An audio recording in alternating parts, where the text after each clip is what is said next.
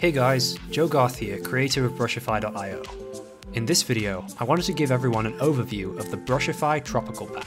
This pack helps you create tropical environments in Unreal Engine 4 quickly and efficiently, using highly optimized, ready-made assets.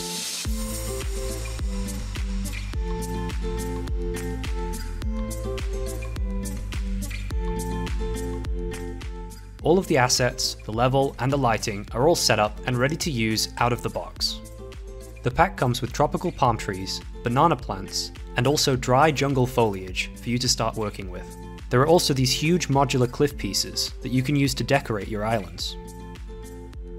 And as usual with Brushify packs, it comes with distance meshes that you can use for the very very far distant terrain. All of these distance mountains also include their own alpha brush for terrain sculpting, that means you can use them in conjunction with the Brushify Landscape Auto material to get some really cool results very fast. The sculpting brush lets me sculpt down an entire tropical island really quickly. I can then go in and start painting down layers like grass, dry grass, and forest. I don't have to worry about the cliffs or the slopes because the auto material takes care of those. Now I can add a few palm trees and banana plants, and it's already starting to look quite convincing. Now I'm just going to hop into the game and run around.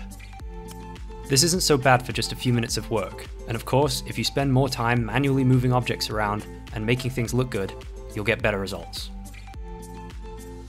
I hope you guys found this video informative, and if you're interested in the pack, check it out on Unreal Engine Marketplace. Cheers guys.